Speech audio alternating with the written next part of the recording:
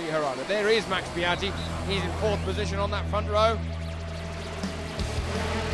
Ooh, away we go, away we go. Jacques on the pole. Waldmann, the local man, doesn't get too much of a good start. So it's going to be Olivier Jacques. Harada's up there in third. Almost comes into contact with Max Biaggi. Just over three kilometres to complete here. Over the line they go. Oh, three abreast almost as they go over the line. Next time round, it's going to be real fun when they come over the line into into the last lap. It's going to be Biaggi that leads, uh, but Jacques is up in the second place. So Harada goes from first to third place. It, oh, Hervé Poncharal, he's the team boss for Olivier Jacques and he's saying, oh dear, oh dear, how long does this race have to go on and on? We're into the last chicane. Oh, Jacques! Jacques goes deep on the brakes and he puts off Max Biaggi, but look at Harada! Harada's going to come up from fourth to first. They're going around all sorts of different lines around the last corner. It's going to be given a handful of gas. It's going to be Harada, but it's going to be close. It is Harada. Harada wins from Jacques and Waldmann.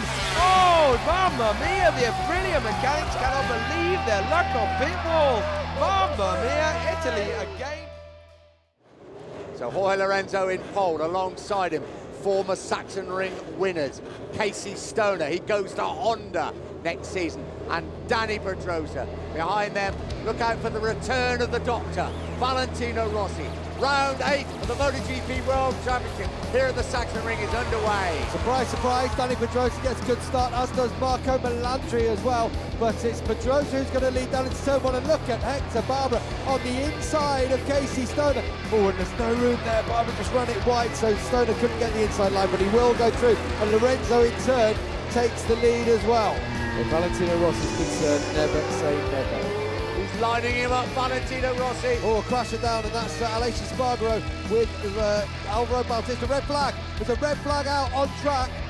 Is that where the red flag incident is, or is it the Bautista Espargaro incident that's caused the red flag? I'd say, with the fire extinguishers down by his bike, it must have been the Bautista Espargaro incident.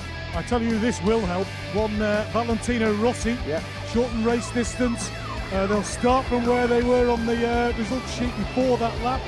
It's uh, it's all playing into Valentino Rossi. Oh, have a look at this goal. It was the oh my god, Oh. It was de Puniet's bike in the middle of the track, and then Espargaro hit it, Bautista hit it, and de Puniet's bike set on fire. Yeah, look so- at that.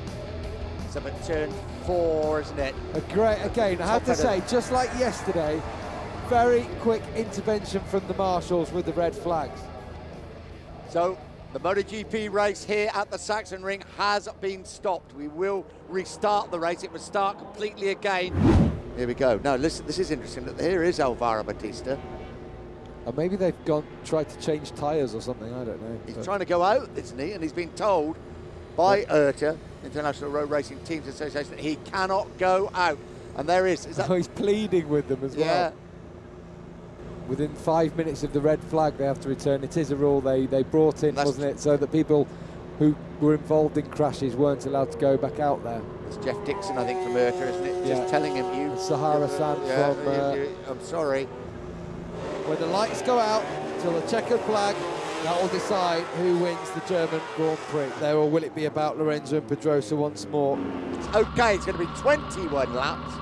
It's round eight the MotoGP World Championship. Just a little change round on the front row of the grid. It's Dani Pedrosa in the centre now. And it's Casey Stoner on the inside. There is Dani Pedrosa. He's arrived. There is Casey Stoner. Uh, sorry, Casey, uh, Dani Pedrosa in the middle. Casey Stoner on the inside. So here we go again. 21 laps of the Sachsenring circuit. Round eight of the MotoGP World Championship here in the sunshine. Oh, and Dani Pedrosa not such a great start this time from the front row, but he still gets down into turn one well. And Lorenzo's had a bit of a shocker getting away that time. Home straight one more time now. Can he get it hooked up right in the slipstream of Jorge Lorenzo? Can he fire it up on the inside and make it stick this time? Side by side across the line. They almost touch. Pedrosa should make it stick this time. Has he made it stick? Yes! Yes! Dani Pedrosa now leads the way. what I'm going to try and do in there. And Stoner's going to come into final corner and attack. Stoner goes through in turn 14. Across the line, Pedrosa wins. And it's under 50 points now thanks to that victory for Dani Pedrosa. He celebrates with the Spanish shirt. They won the World Cup and they've swept the board in MotoGP today.